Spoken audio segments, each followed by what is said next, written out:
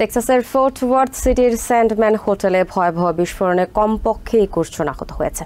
কর্তৃপক্ষ বলছে, সোমবার বিকাল সাড়ে তিনটার দিকে প্রাকৃতিক গ্যাস লিকেজ থেকে এই বিস্ফোরণ ঘটে। আহতদের মধ্যে কয়েকজনের অবস্থা গুরুতর বলে জানিয়েছে কর্তৃপক্ষ। তাদেরকে উদ্ধার করে হাসপাতালে ভর্তি করা হয়েছে। প্রত্যক্ষদর্শীরা জানান, বিস্ফোরণের শব্দে পুরো এলাকা কেঁপে ওঠে। এতে হোটেলটির নিচতলা ব্যাপকভাবে ক্ষতিগ্রস্ত হয়। এ সময় হোটেল ও আশপাশের লোকজনের মধ্যে আতঙ্ক ছড়িয়ে পড়ে।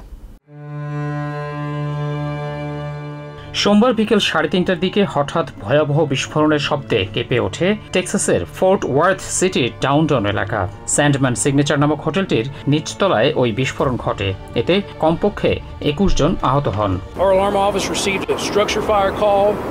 খবর পেয়ে দ্রুত ঘটনাস্থলে ছুটে যায় ফায়ার সার্ভিস। আহতদের উদ্ধার করে হাসপাতালে পাঠানো হয়। তাদের মধ্যে কয়েকজনের অবস্থা গুরুতর বলে জানিয়েছে কর্তৃপক্ষ।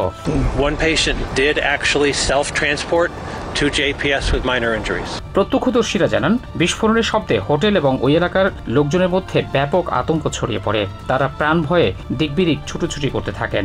I was laying in bed watching Sopranos, and then the walls shook, and then my bed shook. বিস্ফোরণে হোটেলটির নিচতলার কক্ষগুলোর দেয়াল ও জানালা বিধ্বস্ত হয়। জিনিসপত্র রাস্তার মধ্যে ছড়িয়ে ছিটিয়ে পড়ে। এ সময় বেশ কয়েকজন হোটেলটির বেজমেন্টে আটকা পড়ে। ফায়ার বিভাগের কর্মীরা তাদেরকে উদ্ধার করে। প্রাকৃতিক গ্যাসের লিকেজ থেকেই এই বিস্ফোরণ বলে প্রাথমিকভাবে ধারণা করছেন ফায়ার বিভাগের কর্মকর্তারা।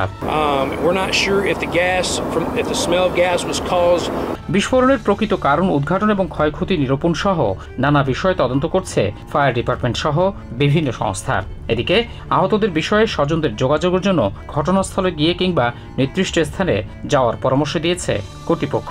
If you've got loved ones or family members that you have not been able to come in contact with since this incident happened, Mohsin Kabir, TVN News Desk.